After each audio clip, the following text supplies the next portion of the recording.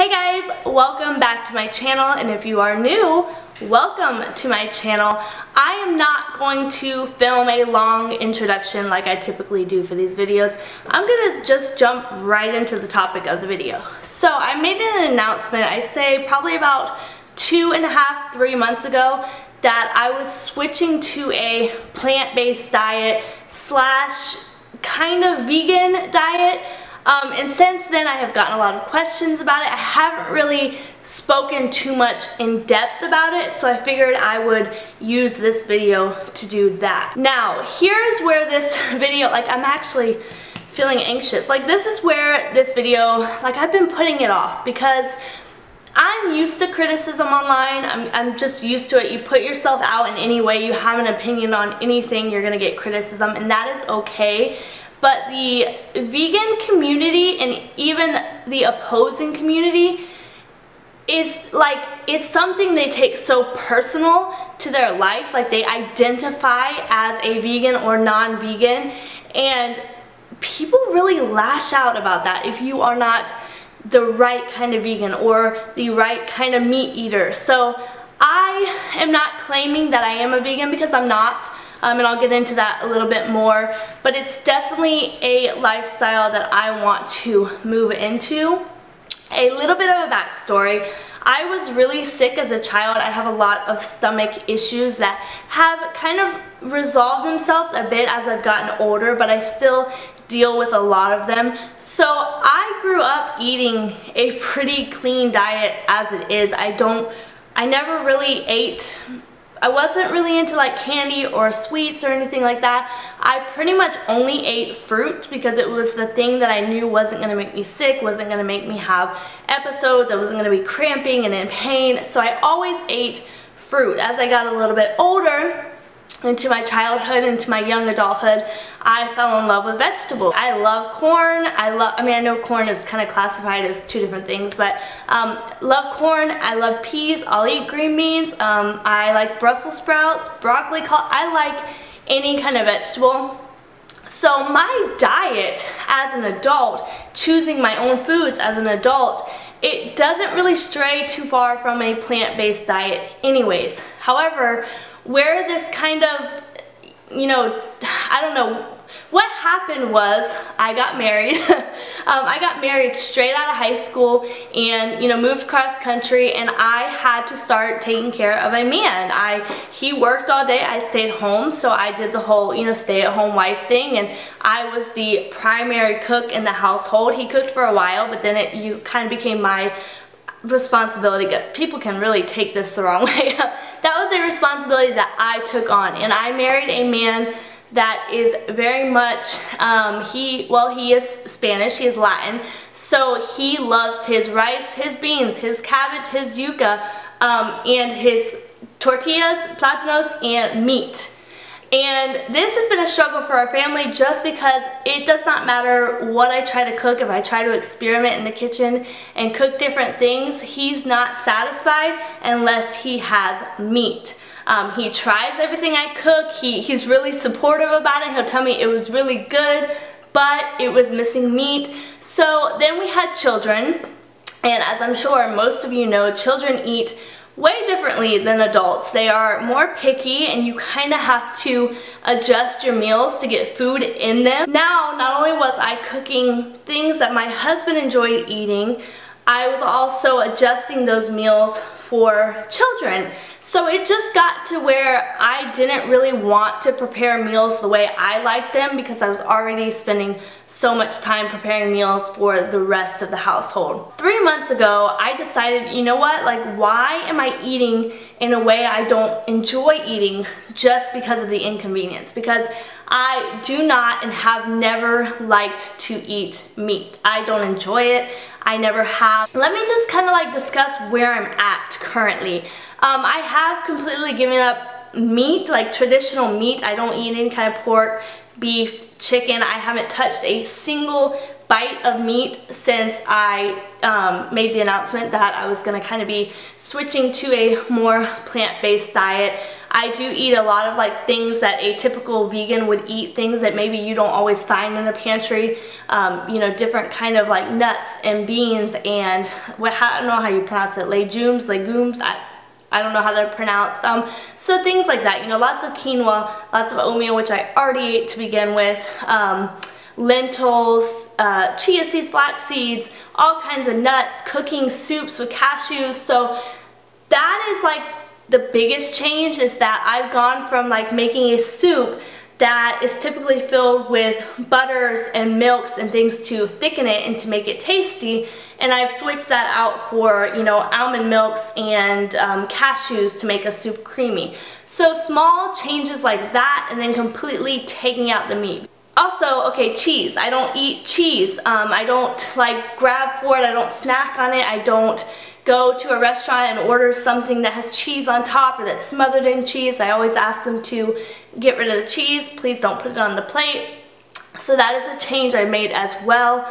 But here's where and why I won't identify as a vegan and where I'm sure people will tell me I'm doing it wrong and I should give it up. And I know I should and I know I want to, but I'm just not there yet. Um, and that is like sushi. I love sushi. I did not eat it my whole life because I swore I would never eat sushi. It freaked me out like raw fish. I hated it. Um, so about two years ago, I had my first order of sushi and it like opened up a new world to me. So I do eat sushi about once a month, um, if that. So I do eat fish occasionally. I don't eat it at home for dinner. It's just on, you know, the occasion that I eat um, fish uh, or sushi. Uh, I have had pizza since switching to a plant-based diet, which means I have had cheese. But again, that's something that I don't really want to do and I've cut it out. Like we had pizza this past week and I didn't eat it. So it's I'm taking small steps to get where I to get to where I want to be um, and doing it my way. I'm not feeling pressured by a community or certain people. I just don't feel that I don't feel that need to make my life choices based on how others feel about the matter. As for like political, environmental issues, I don't want to like sit here in front of you and be an advocate for that because I can't, I guess I don't know enough about it um, to speak on it, but of course I don't enjoy killing animals.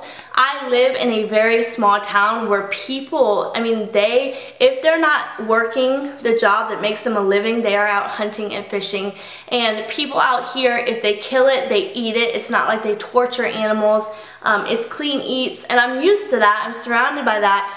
But just because I am surrounded by it doesn't mean I enjoy it. As for food that comes from animals, I know a lot of people feel differently, but I just don't feel that people are really meant to eat animals, which like I said, I know people feel strongly about that, but my mindset is kind of like I think about milk all the time. I milk disgusts me. I will not drink it. I hate it. I can't stand it. I cannot stomach it. Um, but I look at cow's milk and I think this is milk coming from a large animal that is meant to nourish another large animal. This is the, you know, the food that is growing a baby calf to a huge cow. And I think if, if that's nutrition for an animal of that size, are we really meant to put that in our body? I don't know, it's just kind of how I've always felt.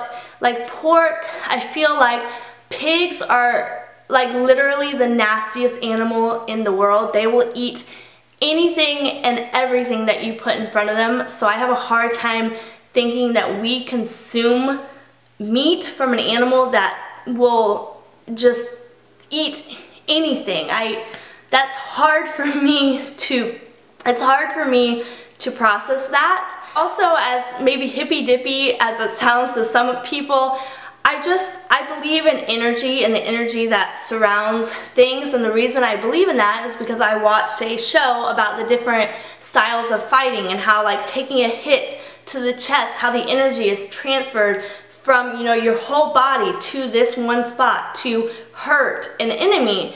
And I think about animals and when they're being slaughtered and when they're being treated poorly, they have this negative energy. They, they feel horrible, they're not happy. Their whole body is negative. And you think about a human stressing and being unhappy, it is literally toxic to your body. That forms toxins in your gut that can cause all sorts of diseases and can cause your body to just be terribly unhealthy. And we are digesting food from an animal that has that energy, that has that toxicity in their body. So that's another reason I'm just not really into it.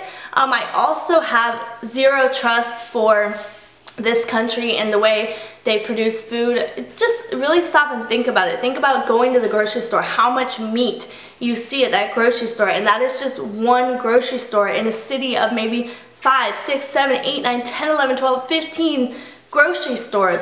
How are we supposed to positively produce that much meat for people if it's not being done in ways that, you know, just aren't, I mean, what do you say? It's just overfeeding, feeding the wrong things, being pumped full of steroids. There is no way that that meat is healthy for our body. Yes, maybe a long time ago when, you know, people were catching wild animals and, and surviving off of that, that might have been healthy, but traditional meat eating from the grocery store, there is absolutely no way that can be good for our body. I, I just refuse to believe it. Um, in terms of animal cruelty, like I said, it's not really a killing animals that, that bothers me, although it does, but I kind of, I'm realistic, so I know that that's just a part of life. Animals die, people kill them for food, but in the way that they are killed, the way they are tortured, the way they are mass produced to give us food, I just don't, I don't believe in that, I don't agree with that, and I don't for a second feel like I want to support that um, business. Like I said, people are very passionate about it, so that's kind of why I've put off making this video and I've kind of just gone off on a tangent, like thinking about things that have been going through my head, thinking about things that um, people have asked me or mentioned. So that's, I mean, that's really it. Am I vegan? No, obviously I eat fish, um, I eat sushi, that's the only fish I eat, um, and I've had cheese, but it is a lifestyle that I'm going towards. It is a lifestyle I implement probably 98% of the time, 99% of the time, and then there is that 1 or 2% where I have eaten the sushi or eaten the cheese on pizza, and it happens, but that's where I'm at currently.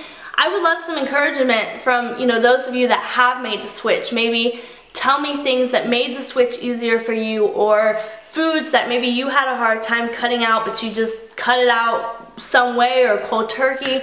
I would love to hear from you guys. I also want to hear what you guys think about meat. I mean, I know there's two different sides of the argument. Do you think that as humans we are meant to consume and digest meat or do you think that we are not meant to consume and digest meat? I'm interested. I'm always interested in open conversation and learning more. Um, and I hope that answers your questions. And if you have any further questions, please leave them down below. And I will talk to you guys in the next video. Bye.